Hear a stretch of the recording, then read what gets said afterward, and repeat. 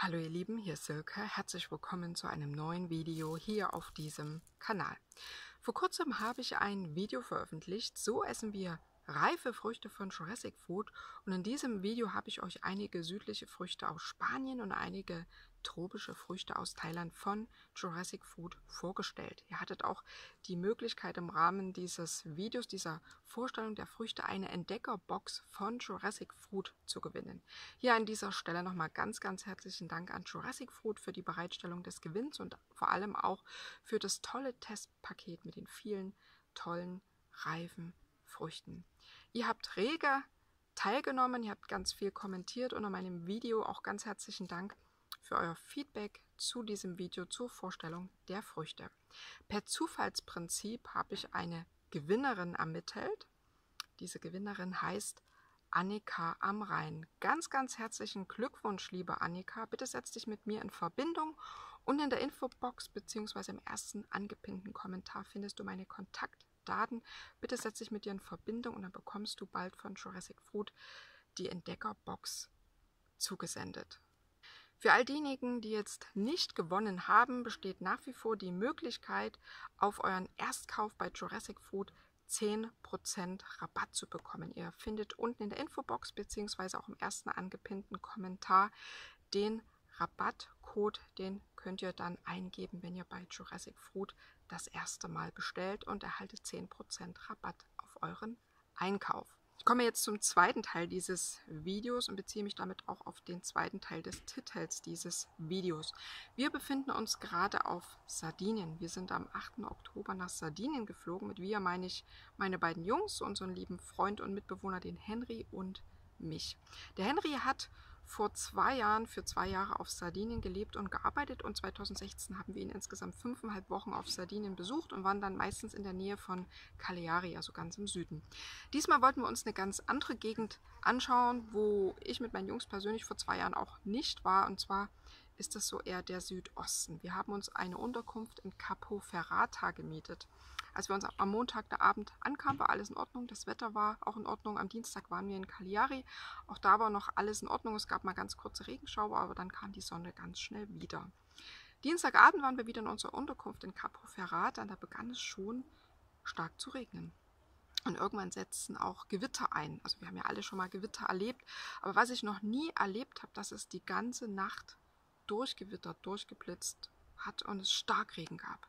Also ich konnte in der ersten Nacht auch überhaupt nicht schlafen, weil trotz geschlossener Fenster war es unglaublich laut. Also die Blitze haben auch immer irgendwo hier in der Nähe unserer Unterkunft eingeschlagen. Es, war, es hat so dermaßen gedonnert und, und geblitzt, das habe ich noch nie erlebt. Und der Starkregen machte so, so Geräusche, dass es unmöglich war, wirklich für eine längere Zeit am Stück entspannt, tiefenentspannt zu schlafen.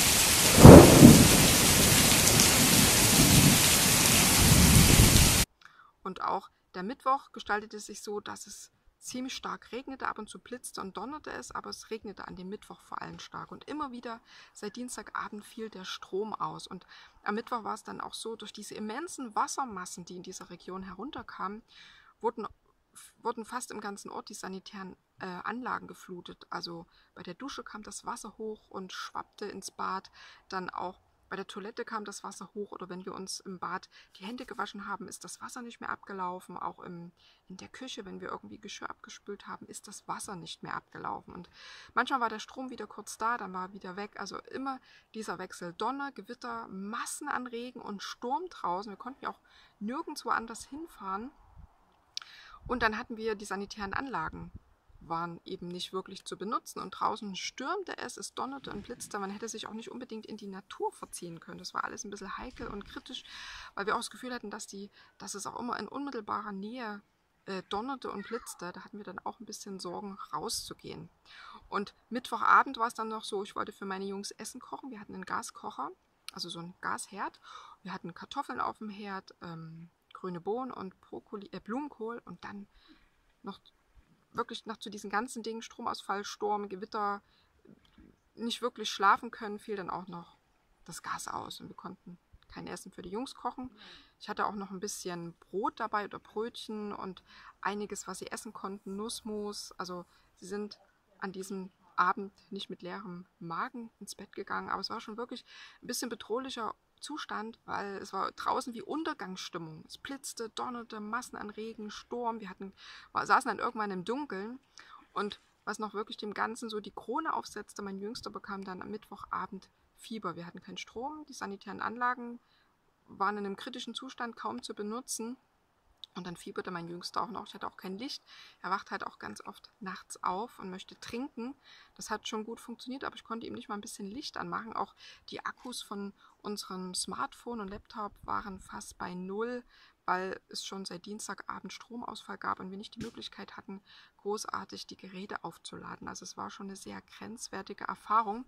Und wir haben uns dann entschieden, mit Donnerstagvormittag äh, erstmal unsere Unterkunft zu wechseln. Und dann sind wir nach Portofino gefahren. Das liegt im Südwesten. Da sind wir jetzt auch gerade aktuell noch. Ähm, und wollten dem einfach mal entkommen. Wir hatten nach wie vor keinen Strom. Der Strom sollte Donnerstagabend, Donnerstagnacht zurückkommen. Wir werden am Samstagabend auch wieder nach Capo Ferrata fahren und ich bin gespannt, wie der Zustand des Hauses ist oder auch der sanitären Anlagen und auch wie es mit der Stromzufuhr aussieht. Also es war wirklich eine ziemlich verrückte Situation. Und jetzt sind wir hier in Porto Pino, genießen die Sonne. Es ist gerade sehr, sehr warm hier. Wir haben eine richtig schöne Unterkunft mit einem Blick aufs Meer, auf die Berge. Und so war ja der Urlaub auch geplant. Ein bisschen Entspannung, ein bisschen Rückzug und Stille. Ich habe mich ja so auf die Stille gefreut, auf die Natur. Das ist in Capo Ferrata auch gegeben, wenn es keine Unwetter gibt. Das war, also ich kann das gar nicht so wiedergeben, was es für eine krasse Erfahrung war, wenn das so fast 24 am Stück, ähm, 24 Stunden am Stück blitzt und donnert und richtig, richtig laute Donner und richtiges Prasseln von Starkregen und dann noch Sturm. Also. Niemand warte, du solltest mir vielleicht Licht anmachen oder sowas. Oder du gehst mal, oder ich mach mal die Tür auf. Es regnet schon seit, gest seit heute Nacht oder gestern Nacht und äh, wir haben Stromausfall. Ja. Guckt. Warte, warte, warte. Hier ist Lichtschalter. Das kann man nicht erkennen. Oh ne, warte, das ist sowieso das Falsche. Hier, komm, Simon, komm mal, komm mal, komm mal. Hier ist Kann man vielleicht was erkennen? Guck mal. Hier ist der Lichtschalter. Hier erkennt man nicht. Also da ist draußen und hier ist hier, hier, hier blitzt. Und ich glaube, in Deutschland ist besser, besseres Wetter. Wetter. Ja, Simon, warte, warte, warte. Ich mach mal die Tür auf, vielleicht sieht man dann ja besser. Regen Ja, so. möglich. So es. Aber auch viel lauter. Hört man fast gar nichts mehr bei uns. Ja. So, das war's erstmal von uns. Wir werden heute noch den Tag hier in Porto Pino genießen. Meine Jungs sind hier gerade im Pool zugange. Wir haben hier vor der Un- Unterkunft auch einen Pool mit Blick aufs Meer. Ich bin ja nicht so der Pool-Fan. Wir werden jetzt auf alle Fälle noch zum Meer gehen. Hier soll es sehr schöne Strände geben in Porto Pino. Da freue ich mich auch auf alle Fälle. Werden wir uns heute noch den Tag hier ausklingen lassen. Und morgen im Laufe des Tages geht es zurück nach Capo Ferrata. Und ich schätze, dass wir uns dann auch dort in der Gegend oder dort um Capo Ferrata herum auch noch eine schöne Zeit machen, uns einige Orte anschauen, die Strände anschauen. Ich will auf alle Fälle in die Berge. Die Luft in den Bergen und am Meer finde ich einfach so erholsam. Also ich suche auf alle Fälle die Stille, so als Großstadtmensch. Ich wohne ja im Süden einer Großstadt, da genieße ich immer die Natur und die haben wir hier. Es ist wirklich Stille, man hört eigentlich nur Grillen oder Vögel. Auch in Capo Ferrata war es sehr, sehr ländlich, sehr ruhig und ich freue mich hier einfach auf noch eine entspannte Zeit nach diesen zwei Tagen Unwetter. Aber wie heißt es so schön, was mich nicht umhaut, macht mich stark. In diesem Sinne wünsche ich euch alles Liebe, alles Gute. Bis ganz bald. Bis zum nächsten Video. Eure Silke.